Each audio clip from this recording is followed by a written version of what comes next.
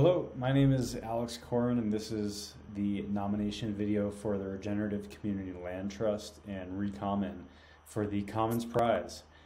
Uh, I'm very excited to be uh, nominating this organization as we are at a critical time where we're building a super valuable commons for the entire global stewardship community.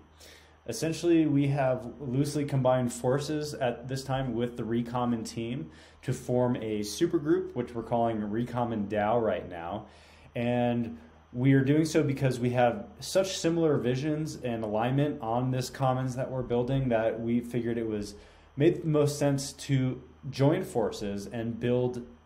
for each other instead of being isolated in the ecosystem. And essentially, what we're building is a platform for land stewards, where the Regen CLT side of things is creating a scalable model and advancing the community land trust model of commons land tenure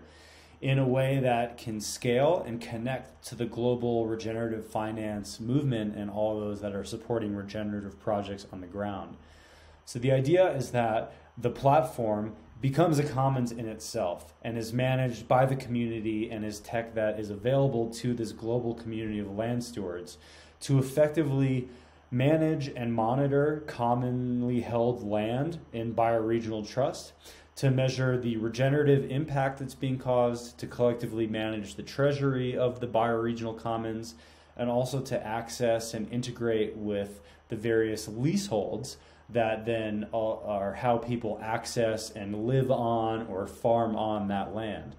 And the analog counterpart to all of this is Regen CLT, where we're creating the legal framework and the templates so that bio, uh, sovereign bioregional entities that hold this land in common trust are created, and a very clean leasehold framework is created to then allow people to access that land. And we view those documents and that work that we're doing is supporting this commons as well, where zooming out, looking at this whole ecosystem, Regen CLT is facilitating the emergence of these sovereign bioregional regenerative community land trusts and open sourcing the legal documents and the templates so that people can more easily create them and launch them and we could crowdfund these land acquisitions and bring that land back into a bioregional trust and then plugging people into this Recommon stewardship platform that allows them to effectively govern and manage and implement the policies and effectively work through decision making processes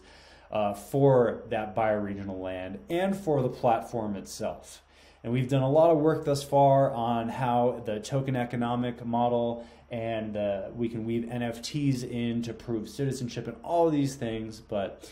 I'll just pause it there and say that uh, very excited to uh, potentially work with the Common Stack. I personally was a member of the Trusted Seed uh, a couple years ago at this point, and I really do think that we are an extremely grounded team building technology that is truly supporting the commons and the reemergence of the commons, not only in a digital sense, but in a very physical sense, supporting regenerative community development on this common land.